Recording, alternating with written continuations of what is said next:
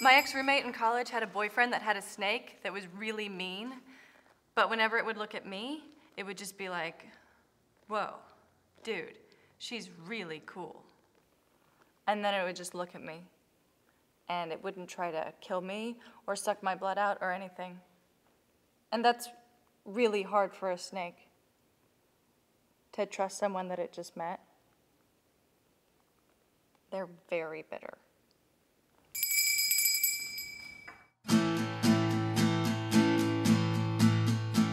Where have you been? I was in the bathroom at the Capitol with the governor. He's been showing signs of wavering on gay marriage. I told him we were watching him. We should get married this weekend before the rally. We could get it on the news. Okay, we're not getting married, Mercedes.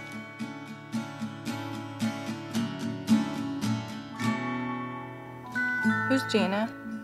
I used to be able to look into Gina's eyes and see everything I ever wanted. If you ever find that with somebody, don't ever let let him walk away. But uh, I have a really, really, really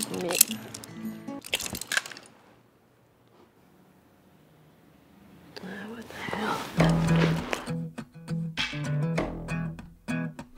hell? Morning, honey bunny. I never really thought about what lesbians did in bed before. For the most part, I really enjoyed myself. I didn't really know what to do with my hands.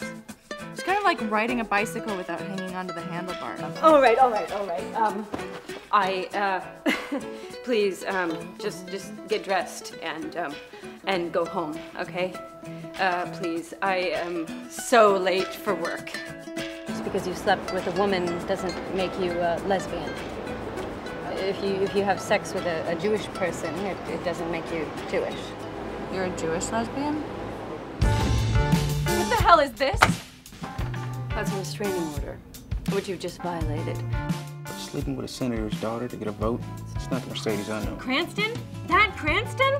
Molly Cranston just called Daddy to send the car to pick her up. Son of a bitch. I know what it's like not to matter. I know. I know you don't have any friends, but you have me. For three days. Go to your father's birthday party and bring me with you. And I promise you, you are going to matter. Why would I take you with me? To introduce your parents to your fiance.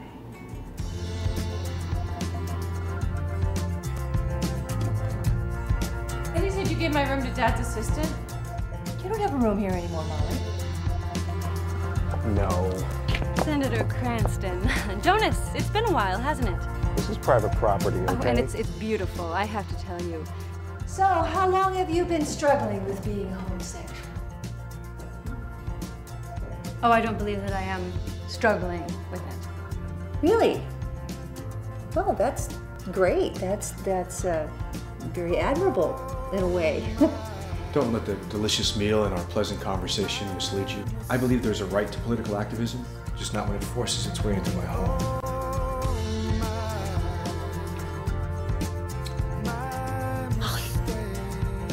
I'm Molly's girl.